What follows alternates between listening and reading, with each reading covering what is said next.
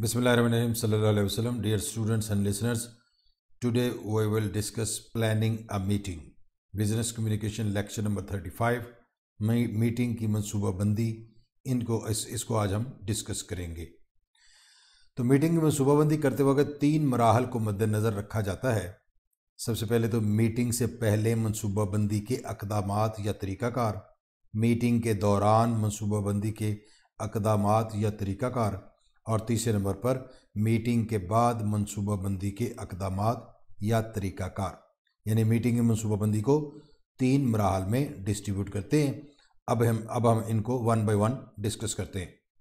तो मीटिंग से पहले मनसूबाबंदी के अकदामात जो हैं, ये पाँच पॉइंट है इसमें।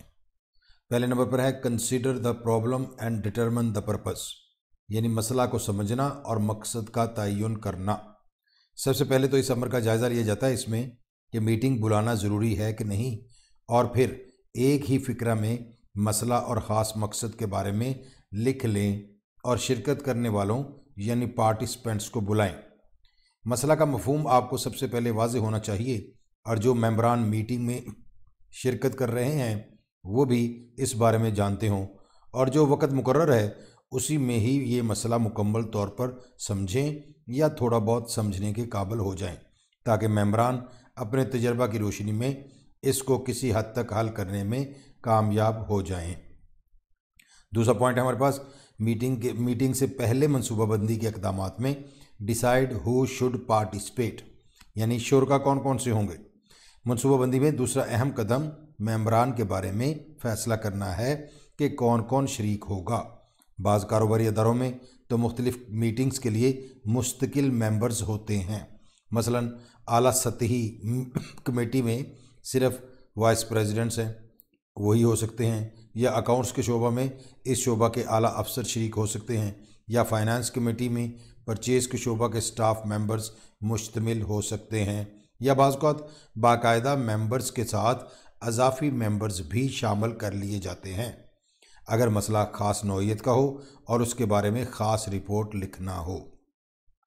आमतौर पर ज़्यादा मुश्किल मसला के हल के लिए मुख्तसर या चंद अफराद की कमेटी होती है, जो पाँच या इससे भी कम कम अफराद पर मुश्तमल होती है।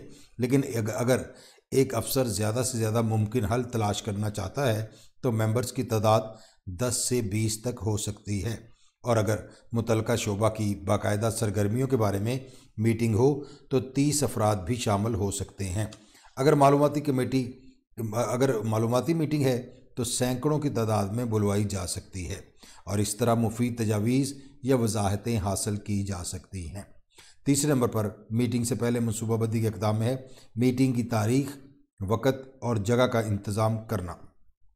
यानी arrange for meeting date, time and place.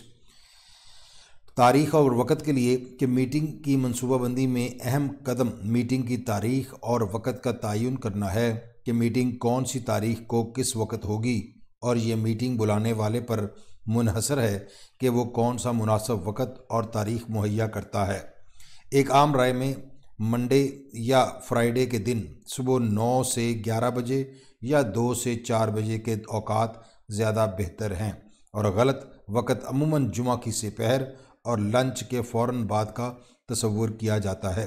बहरहाल, तारीख, दिन और वक़्त ऐसा होना चाहिए कि मेम्बरान इसमें अलर्ट होकर शिरकत कर सकें और मीटिंग के मकासद हासिल करने में मदद करें। जगह के नुक़ नज़र से कि सामीन की तादाद के मुताबिक जगह जगह का इंतखब करना चाहिए कि ये किसी अफसर आला के कमरा में भी हो सकती है या कंपनी के कॉन्फ्रेंस रूम में या किसी ऑडिटोरियम में या होटल में भी हो सकती है। जगह इस तरह की होनी चाहिए कि सामीन इसमें आराम से बैठ सकें और उन्हें बेचुक, बेचैनी या बेसुकूनी महसूस ना हो। चौथे नंबर पर हमारे पास मीटिंग से पहले मनसूबाबंदी के इकदाम में है। एजेंडा का ऐलान करना, अनाउंस एजेंडा। मीटिंग की मनसूबाबंदी करते वक्त मीटिंग से पहले ही तमाम मेम्बरान को मुकम्मल एजेंडा मुहैया कर दिया जाता है, ताकि वो पहले से जहन को उन अमूर के बारे में तैयार रखें, जिनके बारे में मीटिंग में कार्रवाई होना कार्रवाई होना है। एक मरतबा जब इस एजेंडा का ऐलान भी मीटिंग से पहले कर दिया जाता है। एजेंडा में मीटिंग का मौजू, तारीख, वक़्त, जगह और मेम्बरान की ज़िम्मेदारियों के बारे में बताया जाता है, बता दिया जाता है। बाज़ात मेम्बरान में तहरीक पैदा करने के लिए, यानी मोटिवेशन पैदा करने के लिए और मसला में दिलचस्पी पैदा करने के लिए इसकी अहमियत भी मीटिंग से, मीटिंग में आने से पहले उनको बता दी जाती है। पाँचवें नंबर पर मीटिंग से पहले मनसूबाबंदी के इकदाम में है। मादी इंतज़ाम के बारे में एहतियात करना, यानी take care of physical arrangements physical arrangements में सिटिंग अरेंजमेंट है सबसे पहले कि इस मीटिंग के आगाज़ से पहले की मनसूबाबंदी में आखिरी अहम कदम यह है कि एक लीडर को चाहिए कि वो जारी इंतज़ाम का जायज़ा ले। मसलन अफराद के बैठने का इंतज़ाम, मवाद, ज़रूरी सामान और माहौल, मीटिंग की ज़रूरियात के मुताबिक हो। बैठने का इंतज़ाम एक दायरा में भी किया जा सकता है, या एक कॉन्फ्रेंस टेबल पर भी हो सकता है, या यू की शक्ल में भी हो सकता है। खा किस्म खा कोई भी हो, ये इंतज़ाम, या तरतीब इस तरह की होनी चाहिए कि तमाम अफराद आसानी से एक दूसरे को और चेयरपर्सन को देख सकें। दूसरे नंबर पर इसमें मादी माहौल और ज़रूरी अशिया, यानी material atmosphere and necessary goods जिन अशिया का ख्याल रखना ज़रूरी है मीटिंग से पहले के इकदाम में स्पेशली मादी इंतज़ाम के बारे में वो ये है कि जिन अशिया का ख्याल रखना ज़रूरी है, इनमें black board white board, marking pencils, chalk, duster, पेंसिलें, files, कागजात, माइक्रोफोन, डेस्क, डाइस, प्रोजेक्टर्स और विजुअल एड्स, अमदादी बसरी ज़राए, मसलन चार्ट्स, टेबल्स, ग्रा, ग्राफ्स, पीने के पानी गिलास, बोतलें एस्ट्रे, अगर सिगरेट पीने की इजाज़त हो, वगैरह शामिल हैं। अगर मेम्बरान दूर से आ रहे हों या मुख्तलिफ़ अदारों से आ रहे हों तो उनके नामों के चार्ट आवेज़ा कर दें ताकि उन्हें अपनी जगह आसानी से मिल सके। इसके अलावा सेक्रेटरी या किसी दूसरे फ़र्द की पहले से ही ड्यूटी लगा देनी चाहिए कि वो मीटिंग के अहम, मीटिंग के अहम नुकात, यानी minutes of the meeting, note कर लें। ये चंद पॉइंट थे जो पाँच पॉइंट जो मीटिंग से पहले प्लानिंग स्टेप्स हैं। इनको मद्देनज़र रखना ज़रूरी है, जिससे खातर खा फ़ायदा हासिल किए जा सकते हैं। उसके बाद हमारे पास मीटिंग के दौरान का तरीक़ाकार प्रोसीजर ड्यूरिंग मीटिंग मसाइल के हल के लिए मीटिंग में लीडर जो है, उसके रवैया और कारकर्दगी के बारे में तनकीदी नज़र अहम है। एक लीडर को मीटिंग की भरपूर तैयारी करना चाहिए और मीटिंग में दूसरों की आरा यानी ओपिनियंस का ख्याल रखना चाहिए। बहस के मकासद और वजूहत के बारे में मुकम्मल इलम होना चाहिए और मीटिंग के दौरान चंद अकदाम को अपनाने से बेहतर मनसूबा बंदी की जा सकती है और मुनासब नतज भी अखज़ किए जा सकते हैं। और मीटिंग के दौरान सबसे पहला पॉइंट आपके सामने है। Begin with appropriate opening statement यानी मीटिंग का आगाज़ मुनासब बयान से किया जाए। यकीनन आपको मीटिंग से पहले एक तारफ, तारफ़ी बयान तैयार करना चाहिए, लेकिन इसको याद करने या पढ़ने की ज़रूरत नहीं, बल्कि गैर रस्मी और कुदरती अंदाज में उसे पेश करें। इस बारे में चंद नुकात को मद्देनज़र रखना चाहिए। मसलन, मसला को बयान करें। मीटिंग से पहले जो आपने मुनासब बयान देना है, उसमें प्रॉब्लम बयान करें। मसला की अहमियत बयान करें। कोई अहम वाक़ बयान करें या बहस की वजह बयान करें या अहम नुकात के बारे में सिफारशात तलब करें। इसके अलावा चेयरपर्सन अमदादी बसरी ज़राए का भी इस्तेमाल करते हैं, यानी ऑडियो वीडियो एड्स वो भी इस्तेमाल करते हैं प्रोजेक्टर्स वगैरह मल्टीमीडिया वगैरह का इस्तेमाल करते हैं। बहरहाल जो भी तरीका इस्तेमाल किया जाए, इसमें आगाज़ मुनासब बयान से होना चाहिए, ताकि मीटिंग में अगली बहस आसानी से चलाई जा सके।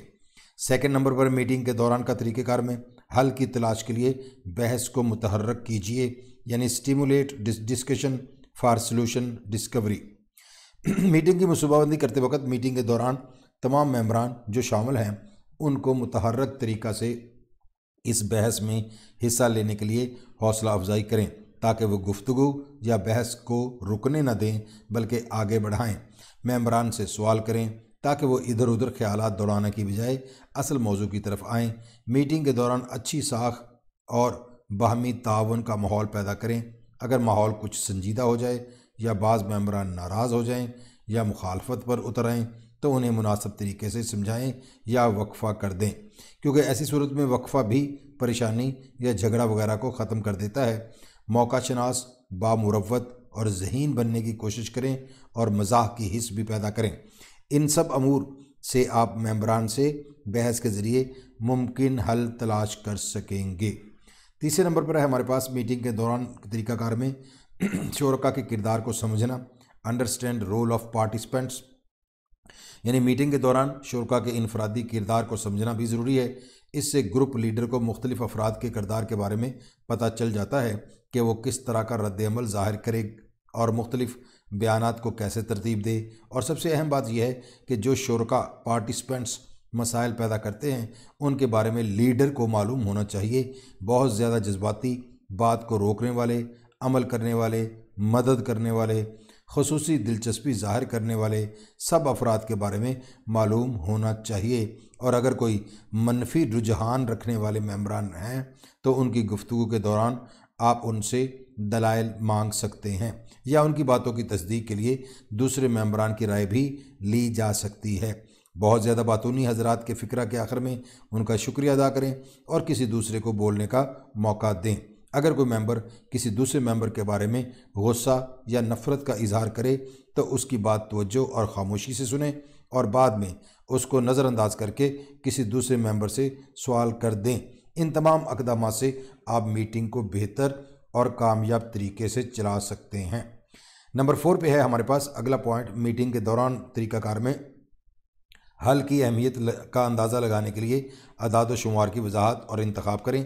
Sort, select interpret data for solution evaluation यानी जब आप शुरा से तजावीज़ सफारशात हासिल कर लें तो शुरा की हौसला अफजाई करें, ताकि वो बताएँ कि इन तजावीज़ पर अमल किया जाए तो उनके फ़ायद और नुकसान क्या होंगे। इन फ़ायद और नुकसान को अलहदा किसी बोर्ड पर आवेज़ा कर दें, या उनकी अलहदा लिस्ट तैयार कर लें, और मीटिंग के सरबराह के तौर पर आप अपनी तजावीज़ ग्रुप पर लागू ना करें। हर मेंबर को उसकी ज़िम्मेदारियों के बारे में एहसास दिलाएँ कि उसकी इनफरादी मेहनत से ही तमाम तजियाती अमूर की कामयाबी मुमकिन है। और हर कोई तवज्जो से सारी मीटिंग की कार्रवाई में शामिल होगा तो ये सबसे अहम बात होगी। पाँचवें नंबर पर हमारे पास है, मीटिंग के दौरान तरीक़ाकार में नतीजा और अमल वाज करें, यानी state the conclusions and conclusion and plan of action meeting का आखिरी सेक्शन बहुत अहम है, जिसमें तहरीरी तौर पर तजियाती रिपोर्ट तैयार की जाती है मीटिंग के खात्मा से पहले इस अमर का जायज़ा लें कि ग्रुप का काम मुकम्मल हो चुका है और मसला के कौन से हिस्से मेम्बरान ने हल कर कर दिए हैं, इनकी एक समरी तैयार करें और जो नतीजा अखज़ किया है, उसे वाज और दुरुस्त अंदाज में बयान करें। इसके बाद ये बयान करें कि ग्रुप ने जो हल जब तजवीज़ किया है, उस पर अमल कैसे किया जाएगा और इस पर अमल करने के लिए चंद अफराद की तकर्री भी की जा सकती है। नेक्स्ट हमारे पास मीटिंग के बाद के अकदाम यानी follow up after the meeting meeting के बाद के दो अहम अकदाम हैं, आपके सामने स्लाइड पर लिखे हैं। मीटिंग के अहम नुकात, यानी मिनट्स ऑफ़ द मीटिंग की तकसीम distribution of the minutes of the meeting और नंबर टू जो ज़्यादा ज़रूरी और अहम है, मुंतखब एक्शन पर अमल करने के लिए ज़ुम्मेदार अफराद पर मुश्तमल कमेटी बनाना या इनफरादी तौर पर ज़ुम्मेदारियाँ लगाना। बाद सूरतों में जो मीटिंग लीडर है, दूसरे सीनियर अफसरान से तकर्री से सलाह सलाह मशवरा भी कर लेता है, ताकि इंतखब में कोई मसला पैदा ना हो जाए और दुरुस्त और मौजू अफराद की तकर्री हो सके। मीटिंग के अहम नुकात, यानी मिनट्स ऑफ़ द मीटिंग की कॉपियाँ तमाम शुरा को भेजनी चाहिए और इसको आपका सेक्रेटरी या असिस्टेंट करेगा। और मिनट्स ऑफ़ द मीटिंग में अमूमन कौन कौन से नुकात होते हैं? उनमें अमूमन अदारा या शोबा का या ग्रुप का नाम होता है, मीटिंग की तारीख और वक़्त और जगह का नाम होता है, हाज़र मेम्बरान के नाम होते हैं। अगर कोई मेंबर, मेहमान मेंबर शामिल है तो उसका नाम भी दर्ज होता है। चेयरपर्सन का नाम और आखिर में रिकॉर्डिंग सेक्रेटरी का नाम दर्ज होता है। रिपोर्ट की मुख्तसर समरी जो एजेंडा में शामिल है, वो अटैच की जाती है। और जो हल पेश किए गए, यानी मसला को हल करने के लिए, जो हल पेश किए गए सोल्यूशन पेश किए गए, और जो फैसले किए गए, उनके बारे में अहम नुकात दर्ज होते हैं और मीटिंग के अख्ताम का वक़्त दर्ज होता है और अगली मीटिंग की तारीख भी दर्ज होती है। डियर लिसनर्स एंड स्टूडेंट्स आज का ये मीटिंग के बारे में जो टॉपिक था हमारा, ये कंप्लीट होता है। अगले टॉपिक के साथ फिर हाज़िर होंगे। उस वक़्त तक के लिए इजाज़त। अल्लाह हाफिज़ and thank you for watching this